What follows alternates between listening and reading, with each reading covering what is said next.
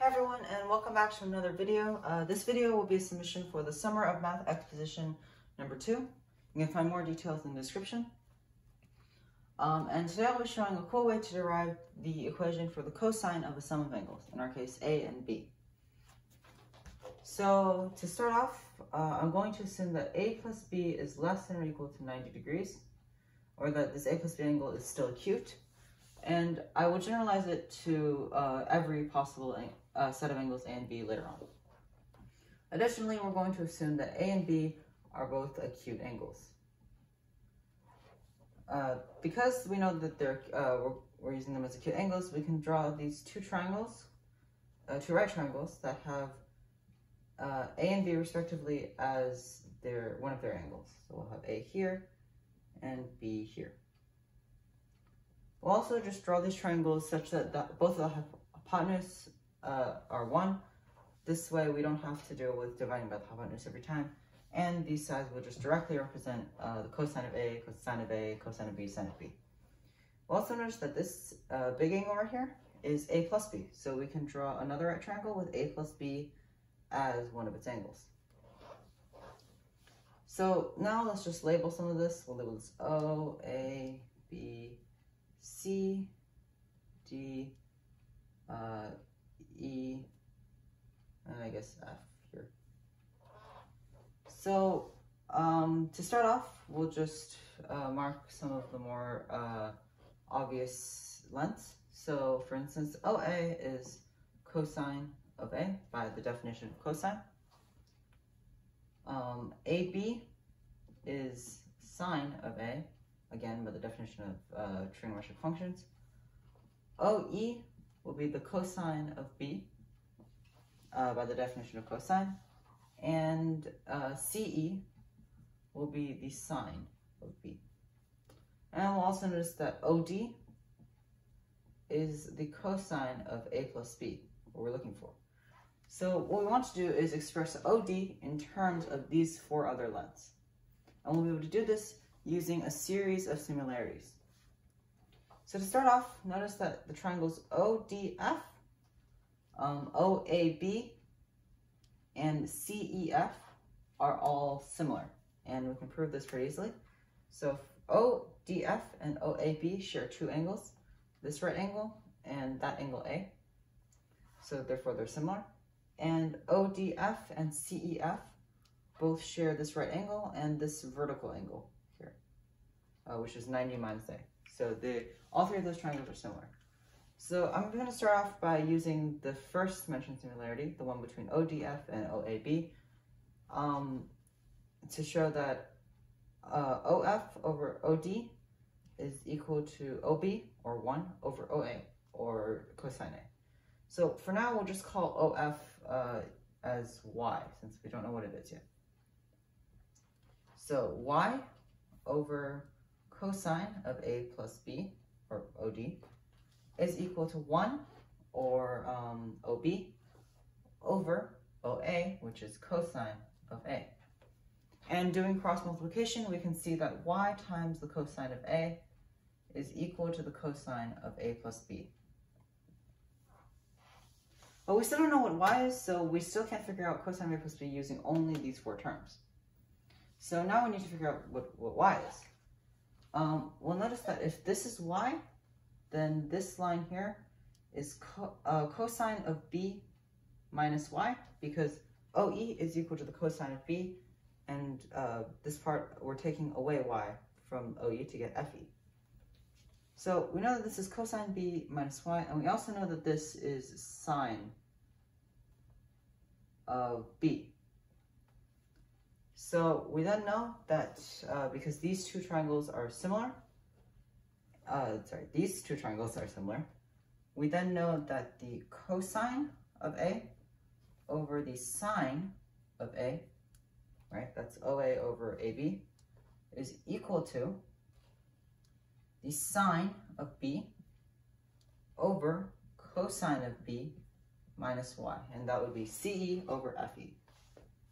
So using cross multiplication again, we can get cosine of A times cosine of B minus Y times cosine of A. equals sine of A times sine of B.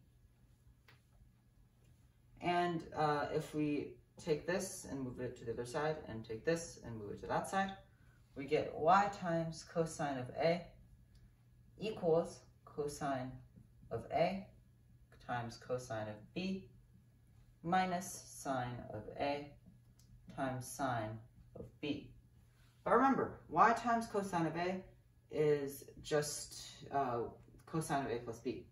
So that means that uh, we have our equation uh, using only these four terms to find cosine of A plus B.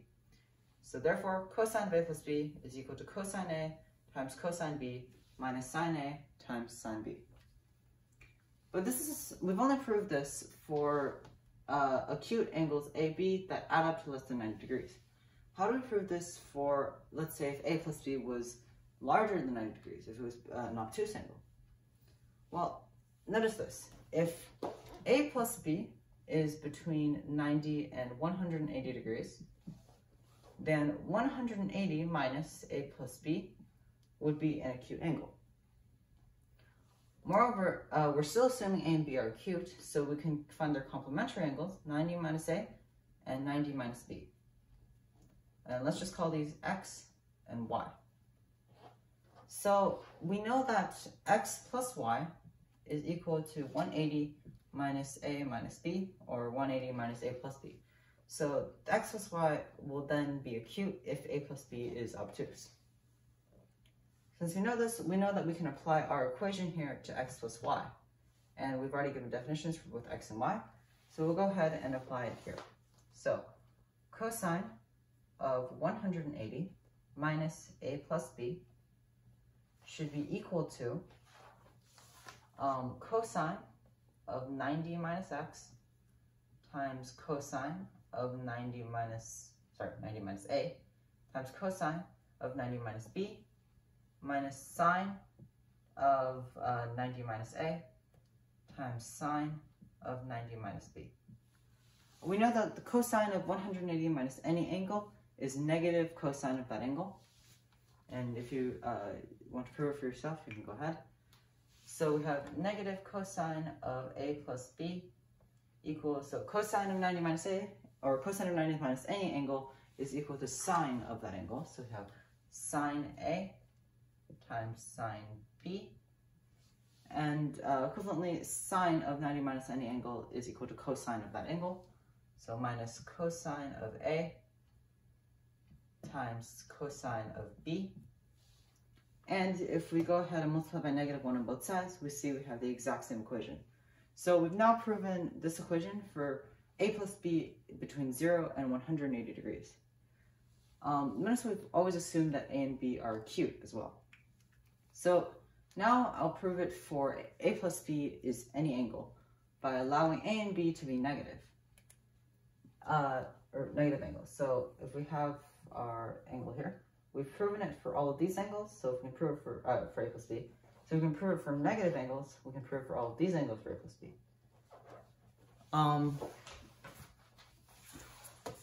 to prove for negative angles is uh, more simple because we just replace a and b with negative a and negative b, right? Because if negative a is positive, uh, sorry, if a is a negative angle, then negative a will be a positive angle.